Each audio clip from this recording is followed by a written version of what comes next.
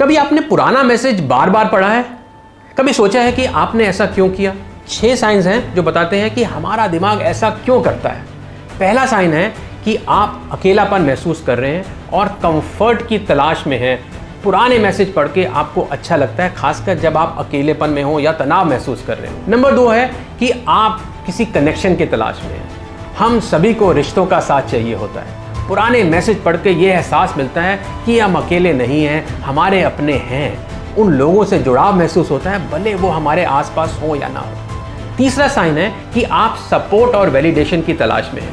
पुराने मैसेज में प्यार, तारीफ़ और सपोर्ट ढूंढना भी एक वजह हो सकता है। इससे हमें अच्छा लगता है। चौथा साइन है कि आप बातों को दोबारा समझने की कोशिश कर रहे हैं, यानी कि री एनालाइज कर रहे हैं। कभी कभी हम किसी बात को अच्छे से समझने के लिए पुराने मैसेज को दोबारा पढ़ते हैं। पांचवा साइन है कि आप अनसर्टेनिटी यानी अनिश्चितता से जूझ रहे हैं। जब ज़िंदगी में अनसर्टेनिटी होना तो पुराने मैसेज पढ़ के मन को थोड़ा सुकून मिलता है। छठा साइन है कि आपका ब्रेन हैप्पीनेस केमिकल यानी डोपामाइन रिलीज़ की तलाश में है।